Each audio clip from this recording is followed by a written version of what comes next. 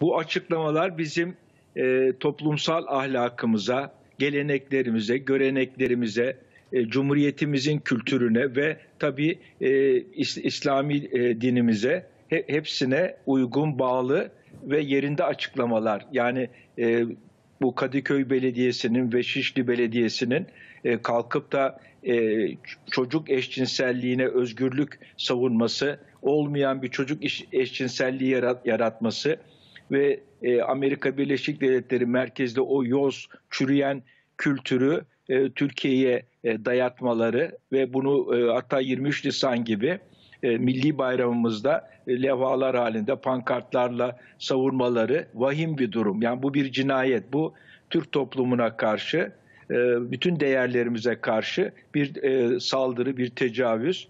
E, bunun tabii mahkum edilmesi çok yerinde. E, Dini otoritelerin de, Diyanet İşleri Başkanlığı'nın da bunu mahkum etmesi görevidir, e, çok yerindedir. Biz de Vatan Partisi olarak e, bunun mahkum ettik ve bunun ne kadar vahim bir tablo olduğunu topluma açıkladık. Bizden başka Sayın Barolar Birliği Başkanı da tavır aldı.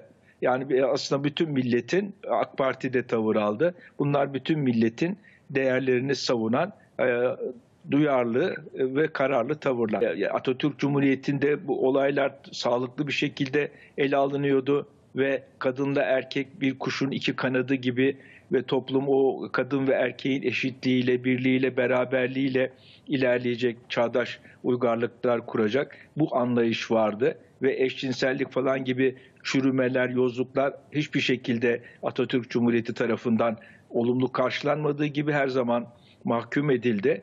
E, kandim varsa yoksa etnik e, gruplar, mezhepler vesaire bu bir projeydi. Şimdi bu eşcinsellik o projenin bir parçası. O feminizm, eşcinsellik bunlar hep zaten beraber götürülüyor. E, Ama Mustafa Kemal Atatürk'ün çok önemli bir sözü var. Ne diyor? Kadın erkek el ele vererek sağlıklı bir toplum olacaklar diyor. Aslında Evet, buradan evet, çok evet. net bir şekilde eşcinselliğe, lezbiyenliğe karşı olduğunu Mustafa Kemal Atatürk de ortaya koyuyor. Peki